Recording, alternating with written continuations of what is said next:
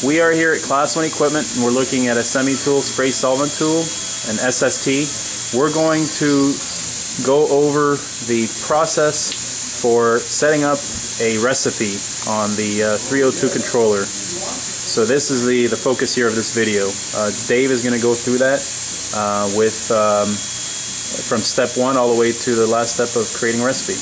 Okay, all right. We'll select our chamber.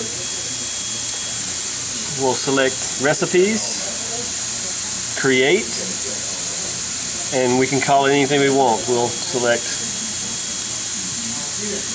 class one, enter. This is step one.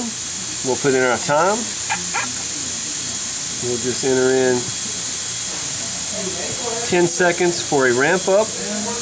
We'll do the RPMs 50. Select the drain. We'll, we'll say step done. Now we're going to be at step two. We'll put our time in. This will be five minutes. RPM 50. And we'll deliver from tank one and reclaim back to tank one. All right, step done. Step three.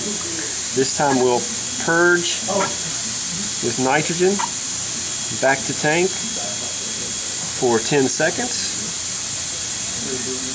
RPM 50. Okay, step is done.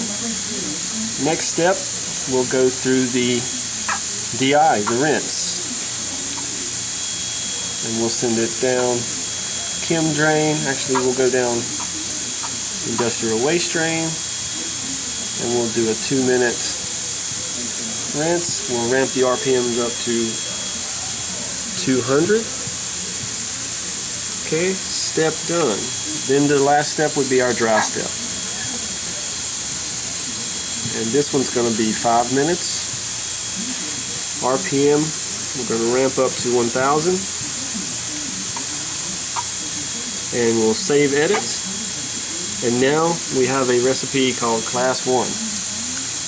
And it is here. You can select it. There we go. And if you want to review it, you can go back to edit. And here's our steps. Steps 1, 2, 3, 4, and 5. And as you press the button, it describes to you exactly what the step is right up here on the menu and also via the, the, the screen. Yes, and one thing I need to point out too, is you can actually rename the step too. Okay, you can, you know, make it custom exactly to what it is. Exactly. Okay, well that's uh, that's a quick overview here of, of how to write and save a recipe on a Semitool spray solvent tool.